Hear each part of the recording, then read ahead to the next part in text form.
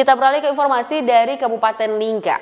SMP Negeri 2 Singkep berikan bantuan kepada pelajar kurang mampu dari zakat profesi yang dikumpulkan oleh pihak sekolah.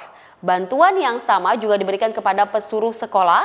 Dengan bantuan tersebut diharapkan pihak guru yang ada ikut merasakan kehidupan masyarakat yang kurang mampu. Sebanyak 61 pelajar SMP Negeri 2 Singkep Kabupaten Lingga menerima bantuan dari pihak sekolah. Bantuan yang diberikan bersumber dari dana yang dihimpun melalui zakat profesi para guru.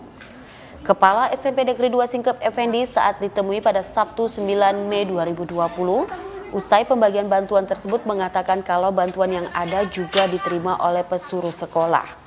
Effendi menambahkan kalau pihak mereka pada tahun sebelumnya juga melakukan bantuan yang sama. Kepala SMP Negeri 2 Singkep ini berharap bantuan tersebut dapat juga diberikan pada tahun-tahun selanjutnya. Kepala SMP Negeri 2 Singkep ini berharap dengan zakat profesi tersebut, guru-guru yang ada dapat ikut merasakan kehidupan anak-anak atau masyarakat yang kurang mampu. Selain itu, Effendi berharap bulan Ramadan ini menjadi berkah kesehatan bagi semuanya, serta SMP Negeri 2 Singkep bisa menunjukkan jati diri islami dan nasionalisme.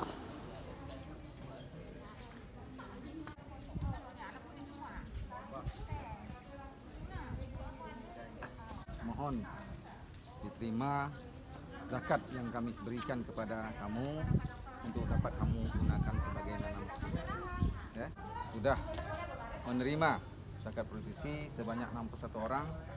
Mudah-mudahan Allah Subhanahu wa taala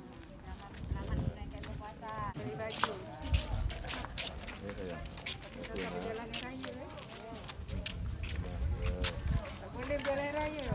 Corona.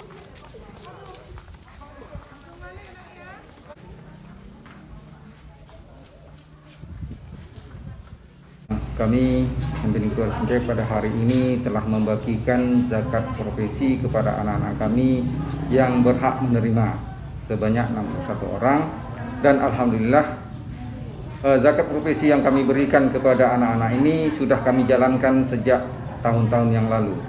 Mudah-mudahan dengan zakat profesi ini guru-guru kami selalu merasakan uh, kehidupan anak-anak kita atau saudara-saudara kita yang memerlukan atau membutuhkan sehingga kita sama-sama di bulan Ramadan ini dapat e, mendapatkan rahmat dari Allah dan ampunan dan semoga hal seperti ini yang baik ini dapat berlanjut seterusnya.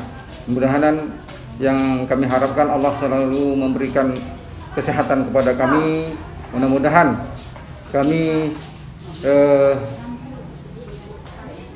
menuju ya sekolah-sekolah yang uh, berlandaskan agamis sehingga kita di SMP Negeri Singkap ini uh, dapat uh, menjadi menunjukkan jati diri yang islami dan uh, nasionalisme. Kategori yang anak kami berikan yaitu anak yang yatim piatu, yatim, kemudian anak miskin. Itu yang kami dapatkan. Iman, Tim Liputan TV Kepri dari Dabo Singkep mengabarkan. Ada pesuruh kami yang juga dikategorikan miskin, kami berikan juga.